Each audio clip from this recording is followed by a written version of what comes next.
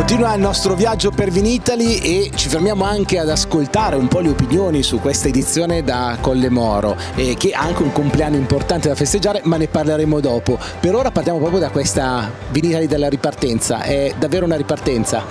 Sperando sì, che sia proprio la ripartenza dopo due anni di fermo, quindi diciamo che due anni di pandemia che ci riporta qui a questa splendida manifestazione italiana che si affaccia in tutto il mondo, quindi noi siamo stati sempre presenti come cantina da almeno 20 anni perché siamo una cantina che ha 60 anni di storia, 61 anni di storia una cantina con una tradizione importante e che propone qui a Vinitali una ampia gamma di etichette di referenze perché beh, qua lo vediamo in mano, io ho un bianco ma in realtà ce ne sono, ci sono anche gli spumanti, eh, c'è rosato, poi ci sono diversi rossi, un'ampia gamma. Sì sì, noi ne abbiamo un'ampia gamma che va da, dal Trebbiano che passa per la Coicaucciola, lo Chardonnay poi abbiamo un'ampia, un, quattro, quattro, tipi di spumante, quindi c'è il rosé spumante, il pecorino e la passierina fino diciamo, ad arrivare al festeggiamento del nostro sessantesimo che abbiamo rifatto un, eh, un packaging nuovo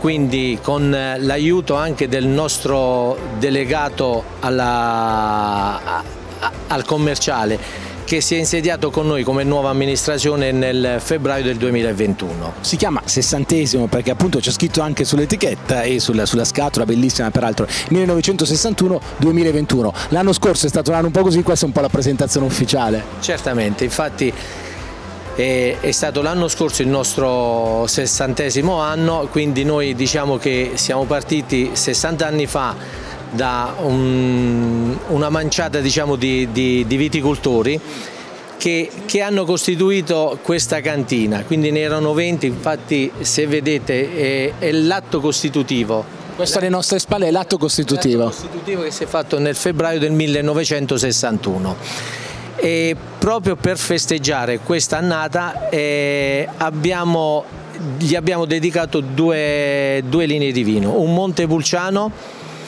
e un, eh, un, bianco che è un assemblaggio di uve di, peco, di Chardonnay, Pecorino e Cococciola. Quindi un modo per celebrare e per guardare al futuro con entusiasmo anche perché abbiamo detto prima erano 20 i produttori ha detto e adesso?